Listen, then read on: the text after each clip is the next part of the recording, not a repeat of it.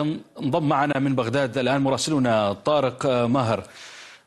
طارق يعني هل تبينت معلومات حول ما يجري بالفعل في الرمادي؟ ونحن نسمع أنباء متواترة عن محاصرة تنظيم لمقار عمليات هناك.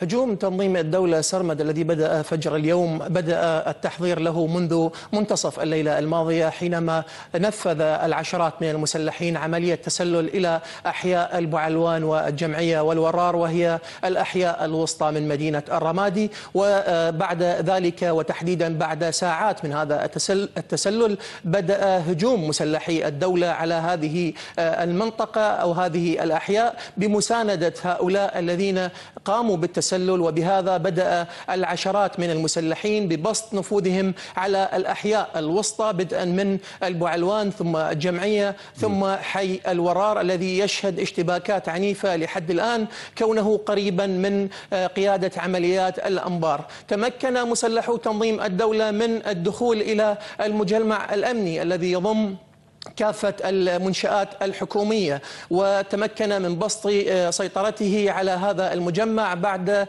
تفجير خمسة سيارات مفخخة. الأول كان عربة عسكرية مفخخة ثم أربعة سيارات داخل طيب هذا المجمع نعم الأمني طارق الذي الساعات المقبلة الآن قيادة يعني العمليات. إذا كنت تسمعني طارق الساعات المقبلة الآن بماذا تنبئ ونحن نسمع أخبار متواترة عن تقدم للتنظيم؟